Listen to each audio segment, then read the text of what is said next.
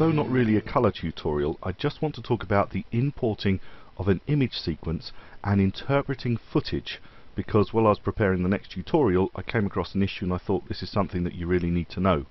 Sometimes you want to bring in an image sequence. It can be a PNG sequence, it could be a Photoshop sequence, a JPEG sequence, a Targa, a TIFF, a DPX, a whole series of different sequences that you can bring them in and Adobe Premiere Pro doesn't really know how it should deal with that sequence when it comes in.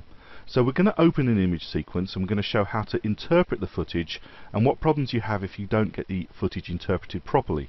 So I want to bring it into my footage folder, so I'm going to control on the PC, command on the Mac, double click to open that folder, and then I'm actually just going to do control I or command I to open the importer, and here is my piece of footage. This is courtesy of Adobe, and it's a DPX image sequence. Now notice at the bottom you do have a checkbox that says image sequence. So if you want an individual image from it, you don't want this checked but if you want Adobe to be able to see this as being a complete image sequence i.e. one piece of, if you like, video and treat it as a single item then you must click the image sequence button so now we will be importing an image sequence so when I click open it comes in as an image sequence and I get the video file bear in mind there's no sound with this particular one now if I want to create a sequence based on this image sequence I take this one and I drag it down to the new sequence icon and let go. And what happens is I get a very squished image. This is not the way it is supposed to look. Clearly it looks completely wrong.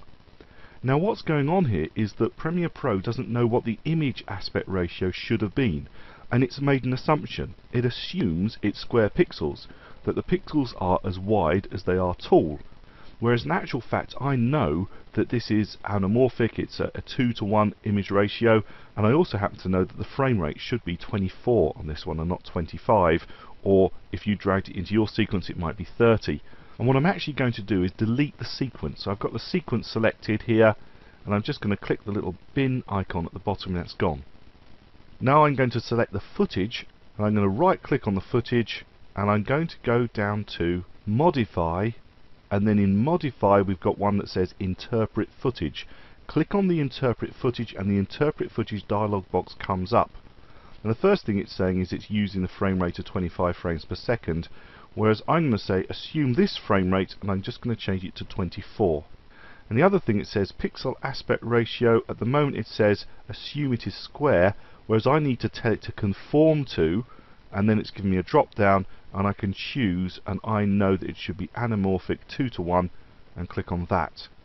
Now the other thing that it might have is you might say as it got field orders? This is progressive, it's not interlaced so it's saying use the field order from the file. In other words it is a progressive scan one image after another not with fields. So I've done all of that. I can now click OK. And now when I take this piece of footage and I drag it down to the new items icon to create a new sequence you'll see that it interprets it fully the way it should look. So that's how you can bring in an image sequence and that's how we can interpret the footage so that when we bring it to a new sequence it's as it should look as opposed to being all squished but clearly we can now see that there's problems with this that we need to address in future tutorials.